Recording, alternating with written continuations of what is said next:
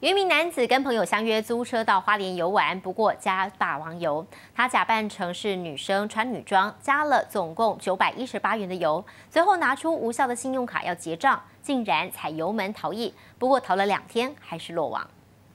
休息啊，睡觉，累。休息我一下。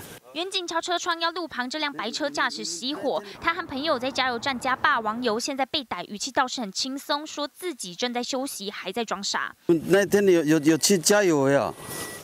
装傻装到底还死不承认。时间回退到两天前，这名陈姓男子扮成女装跟友人到花莲出游，期间租了这辆白车代步。十六号中午左右到寿丰乡一处加油站加油，油费一共九百一十八元。他随后拿出一张无效的信用卡结账，员工告知刷卡刷不过，他竟然油门一踩开车逃逸，员工赶紧报案。调阅监视器锁定车辆行经路线。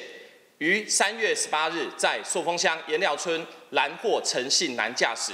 远警巡线两天后，在寿丰颜寮逮到驾驶，他声称当天是现金不够才会落跑，被诈欺罪送办。至于换成女装是否为掩蔽身份，还要再厘清。记者陈金叶花莲报道。